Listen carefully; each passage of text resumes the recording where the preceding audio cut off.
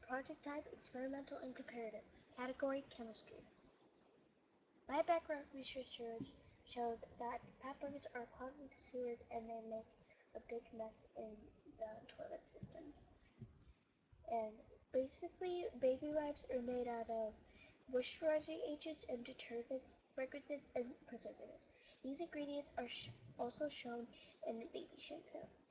Um, a septic tank is um, a tank that helps you clean stuff out, like clogs.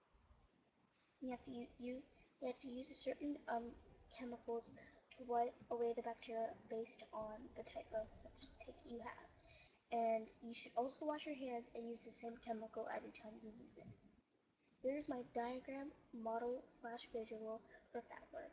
The purpose of the experiment is to make a stop um, producing homemade sewage. Can drain cleaners and other household items dissolve baby wipes in fact, my hypothesis is that we, if we add a certain amount of clogged liquids, then the baby wipes will most likely dissolve. The dependent variable is toilet care, SGP, septic pack, and liquid power. My independent variable is the time and the control groups or water and oil. A material list is paper, pencil, baby wipes, toilet care, liquid flour, septic pack for buckets with four lids, soap digester, vegetable oil, digital scale, measure cups, two gallons of water, and gloves. Here's my material picture. Here are some safety tips to use on this experiment. Use gloves, go outside in case of any fumes, and always wash your hands. My procedure is to put the equal amount of baby wipes in each bucket. Use a scale to measure about 130 grams of baby wipes for each bucket. Separate the wipes to make the solution look realistic. Put one cup of vegetable oil in water in all of the buckets. Put 4 ounces of toilet care in the first bucket. Next, put 8 buckets of SGP in the second bucket. Put 1 pack of 1 septic pack in the third bucket and the whole bottle of liquid cover in the fourth bucket. Put half a gallon of water in each bucket. Cover and label the buckets to tell the difference. Swish around the materials to mix them up when sealed. Take your buckets out and, and take the wipes and squeeze the liquids as you can. And this is after when they're sitting after one week. Use a scale to measure the weight of the wipes after one week. Use the measurement grams.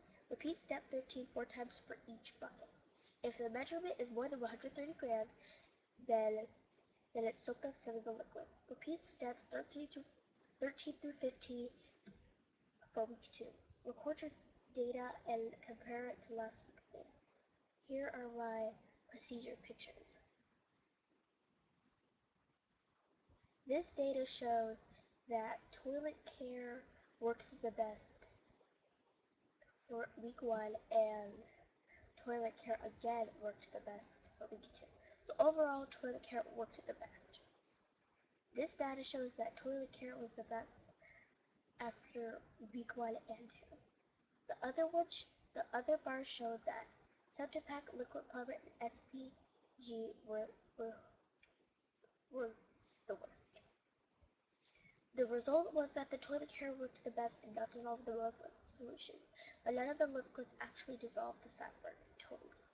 My conclusion is that there is nothing we can actually do to eat the bark.